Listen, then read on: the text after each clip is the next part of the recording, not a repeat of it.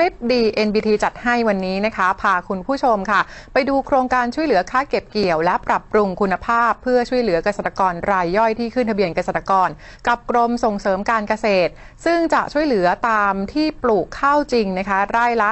1,500 บาท ไม่เกิน 12 ไร่ หรือไม่เกินครัวเรือนละ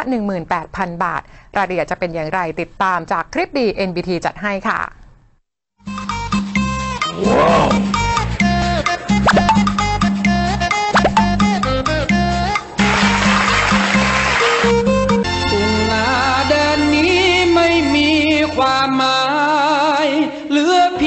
กลิ่นโคลนสาบควาย เห็นซากคันไทยแล้วเศร้า โอ้ยถึงฤดูการเก็บเกี่ยวชาวนาชาวไร่ตาดำๆคิดหวังว่าจะได้ราคาดีๆ ก็กลัวราคาจะตกในช่วงนี้ ตอนทำนะก็มีแต่ตังค์กันนี่ แต่พอเกี่ยวเสร็จปุ๊บเนี่ยทำไมมันเหลือแต่หนี่ก็สังก็ไม่รู้เนี่ยโถตายแล้วเออเออครับ แกขึ้นทะเบียนเกษตรปีนี้หรือยัง ขึ้นแล้วอ้าวแล้วแกจะกลัวอะไร รัฐบาลเขามีมาตรการช่วยเหลือแกเนี่ยรัฐบาลเขามีนโยบายช่วยเหลือเงินเงินทองทองให้กับชาวนาด้วยเหรออืมใช่โอ้ยซึ่งตามมติประชุมคณะกรรมการนโยบายและบริหารจัดการข้าว ครั้งที่ 3 ทับปี 2561 เมื่อวันที่ 11 กรกฎาคม 2561 เห็นชอบมาตรการช่วยเหลือเกษตรกรผู้ปลูกข้าว ปีการผลิต 2561 ทับปี 2562 ในส่วนโครงการช่วยเหลือค่าเก็บเกี่ยวและปรับปรุงคุณภาพ ที่เกี่ยวเนื่องกับชาวนาโดยตรงนั้นกำหนดให้ช่วยเหลือเฉพาะเกษตรกรรายย่อย ที่ขึ้นทะเบียนเกษตรกรกับกรมส่งเสริมการเกษตร กระทรวงเกษตรและสหกรณ์เท่านั้น ซึ่งจะช่วยเหลือตามที่ปลูกข้าวจริง ไร่ละ 1,500 บาท ไม่เกิน 12 ไร่ หรือว่าไม่เกินครัวเรือนละ 18,000 บาท ซึ่งจากปีที่ผ่านมาช่วยเหลือไร่ละ 1,200 บาท ไม่เกิน 10 ไร่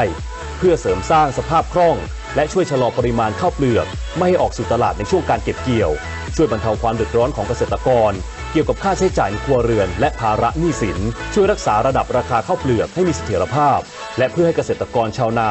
ขายข้าวเปลือกได้ในราคาสูงขึ้น เพื่อให้เกิดการแข่งขันและทำให้ราคาข้าวเปลือกในตลาดมีเสถียรภาพ